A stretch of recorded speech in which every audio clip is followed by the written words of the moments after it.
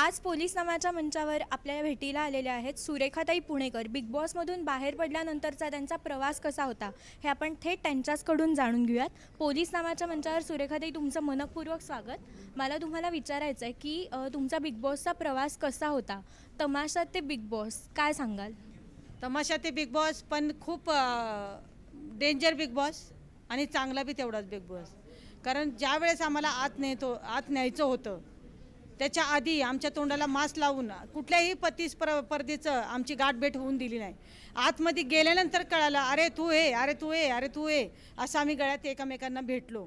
आणि जे भांडण सुरू झालं ते खूप भांडण आणि खूप हे. आता मान्य करते मी बिग बॉसच्या घरामध्ये बर्डन बी तेवढं होतं बिग बॉसचं की कुठे बोलावं तर भीती नाही बोलावं तरी भीती. ह्या गोष्टीनी आणि त्या भांडणाच्या यानी मी हँग व्हायची हँग त्याच्यामुळं त्याच्यामुळं माझ्या काही काही गोष्टीवरती परिणाम झाला. पण काही काही गोष्टी मी चोख आणि महत्त्वाच्या केल्यात. मी कुठेही कशीही बडबडले नाही. एक आई म्हणून बिग बॉसचा प्रवास मी सहा हप्ते केला.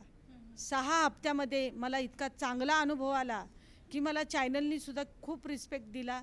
कलाकारांनीसुद्धा कलाकार माझ्याशी कधी भांडले नाही. मला सलाम केला झुकून सलाम केला. माझ्याशी कुणीही धावत नव्हतं किंवा मला बोलत नव्हतं. त्यामुळे माझं माझी जी भूमिका आहे ती लोकांना कमी दिसली. का कमी दिसली? तर कुणी माझ्याशी भांडतच नव्हतं. त्याच्यामुळं लोकांना माझी कमी भूमिका दिसली. पण नक्कीच प्रेक्षकांना माझ्याकडनं खूप अपेक्षा आहेत. मी त्या कधी ना कधी तुमच्या पूर्ण करील आणि कुठल्याही माध्यमातून पूर्ण करील. लावणीच्या माध्यमातून अपेक्षा खूप वाढलेल्या आहेत तुमच्या. पण बिग बॉसमध्ये ज्या ज्या ठिकाणी मला जे जे पाऊल उचलायचे होते ते मी उचललेले तेव्हा बिग बॉसचा प्रवास अतिशय चांगला आणि भेंडीच्या बाबतीत मी हिनाला बोलले होते नेहाला बोलले होते. ती भेंडी तिने शेंबडासारखी केली होती. मी तिला बोलायला गेले. मी तिला बोलायला गेले. तर महेशजी मला म्हणाले तुम्हाला काय वाटतं? तुम्हालाच लई स्वयंपाक येतो का? त्याच्यामुळं मी गप्प झाले. गप्प झाल्यानंतर पुन्हा मी डोकं वर काढलं. आणि दोन दिवस मी त्या टेन्शनमध्ये होते की मला बोलले मला बोलले मला बोलले. खूप मला वाईट वाटत होतं. आणि माझा बी पी हाय होत होता तिथं त्या भांडणामुळं याच्यामुळं. मला खूप त्रास होत होता. प्रेशर होतं का बिग बॉसचं नाही नाही प्रेशर असणारच ना. मग आणि तमाशा आजचा तमाशा आणि तुम्ही जो सुरू केला तो तमाशा त्याविषयी काय सांगाल?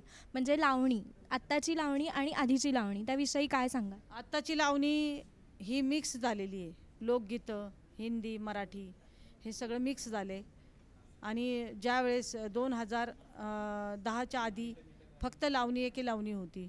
पण आता कार्यक्रम मिक्स निघालेत. मिक्स पद्धतीने कार्यक्रम चालू आहेत. त्याच्यामध्ये लावण्या पण असतात. तुम्ही लावणीसाठी काय सुरू करणार आहात का नवीन? मी अकॅडमी सुरू करणार आहे माझी. कुठे करणार आहात? पुण्यामध्ये.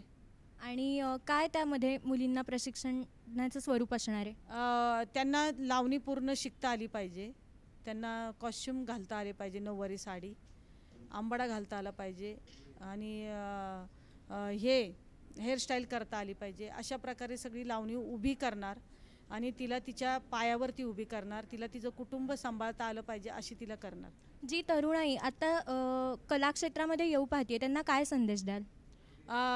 कलाक्षेत्रात आत्ताच्या तरुण पिढीचं वेलकम स्वागत करते मी.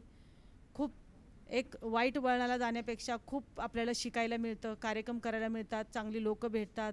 नक्कीच तरुण पिढीने कलाक्षेत्रात यावं. कलाक्षेत्र हे खूप चांगलं आहे. चित्रपटाच्या माध्यमातनं स्टेज शोच्या माध्यमातनं कलाक्षेत्र खूप चांगलं आहे आणि आत्ताच्या तरुण मुलींनी मुला